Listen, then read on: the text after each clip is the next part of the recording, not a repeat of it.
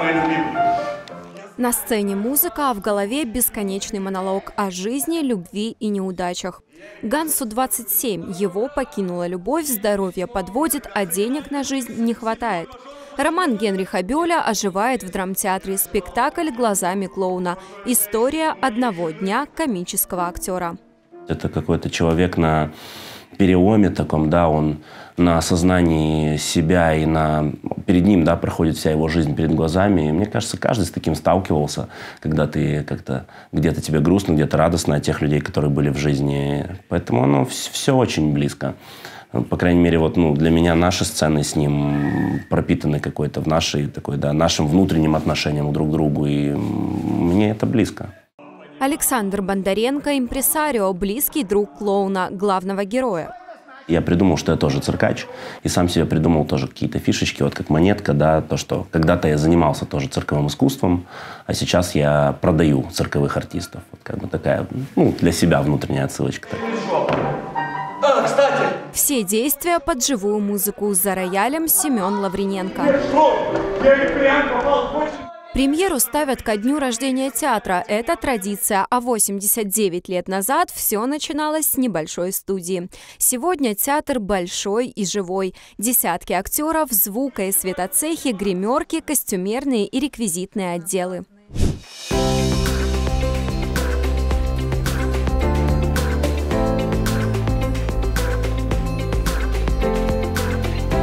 Сцена – это сердце театра, но главные решения всегда за кулисами.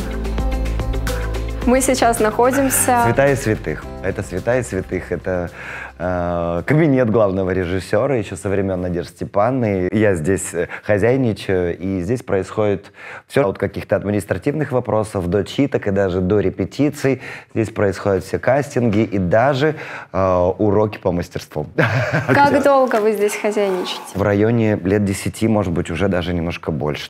Ксанф, Мюнхгаузен, Лоренцо, Суворов – десятки ролей в одном человеке. Дмитрий Ахмадиев – актер по зову сердца, а еще режиссер. Конечно, главный во всем. Образы, грим, декорации, трупа – все зависит от него. Все начинается с того, грим, э, как это видит и решает э, режиссер. Поступает команда от режиссера. Нам режиссер подсказывает.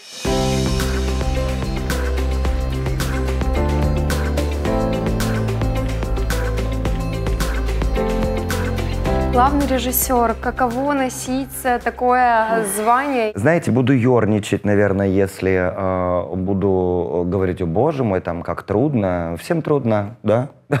Кто любит свое дело, э, тот любит трудиться. Я э, люблю безумно свое дело, я в хорошем смысле фана фанатично даже его люблю. И в актерской профессии, в режиссерской профессии дисциплина и самодисциплина стал э, пошел, делаешь. А в этой комнате находится весь а, реквизит театра. Текстиль, посуда, предметы. Именно они создают сказку на сцене.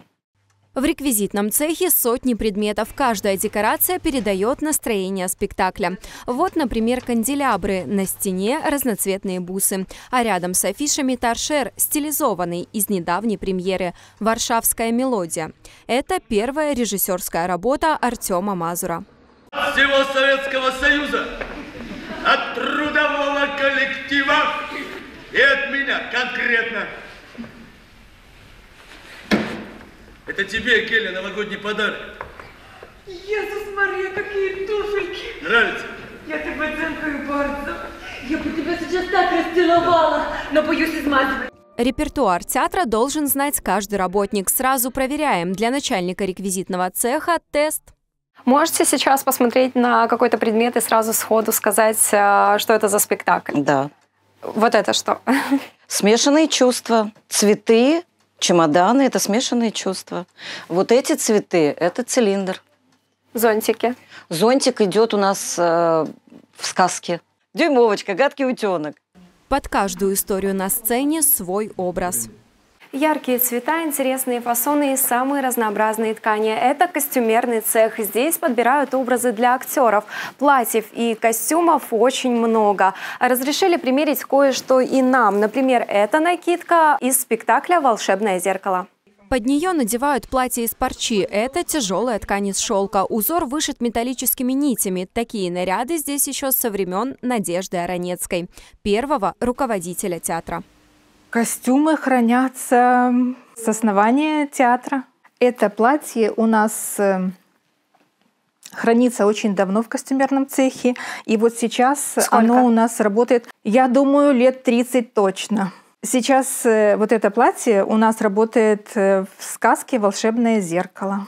Вот такое вот красивое платье. Насколько сложно подбирать а, образ к спектаклю? Сложности особой нету. Нам режиссер подсказывает, э, какая роль, какого характера эта роль. И мы уже э, складываем по э, вот этой характеристике данного актера, мы уже складываем себе образ, какое это будет э, платье, даже какого цвета, какой это будет костюм. Обувь и головные уборы подбирают под стать общему стилю. Все должно быть лаконично. Если платье из дорогой ткани, то и кокошник должен быть на уровне.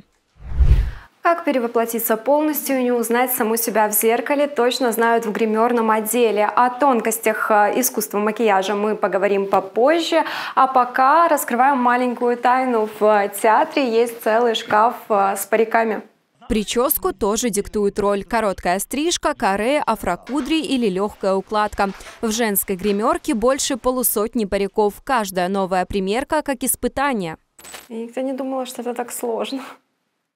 Так, нормально там? Да вроде, да. А что с этим делать? Секундочку. Мне кажется, мы ошиблись с передом. Есть в театре мужской гримерный цех. Там все куда проще. Сейчас мы готовимся к репетиции спектакля «Глазами клоуна».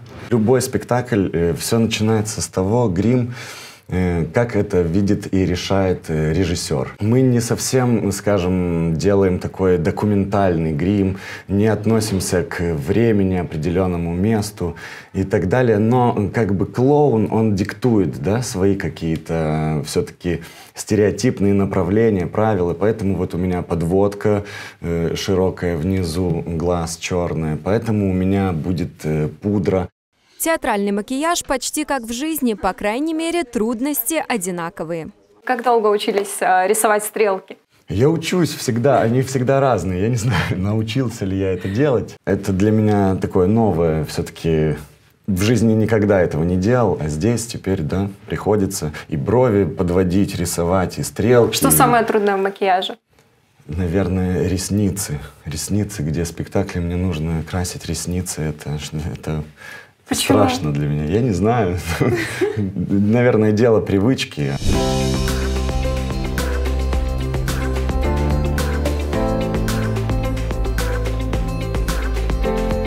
Жизнь театра на сцене — это такая верхушка айсберга. То, что э, видит зритель, это, конечно же, большой праздник. А любой праздник готовится достаточно серьезное количество времени и усилий прилагается э, очень много. Звуковое оформление, естественно, работа со светом. Естественно, мы даем какие-то направления, мы даем какие-то задачи. В итоге в картинку все это входит, ну, руководит процессом в любом случае, да, наш директор театра э, Денис Аптер, который все это дело координирует и э, таким образом весь этот концерн работает Концерн работает и радует нас новыми постановками. Кстати, если вы пропустили премьеру «Глазами клоуна», не расстраивайтесь. Увидеть спектакль еще раз можно будет 29 апреля.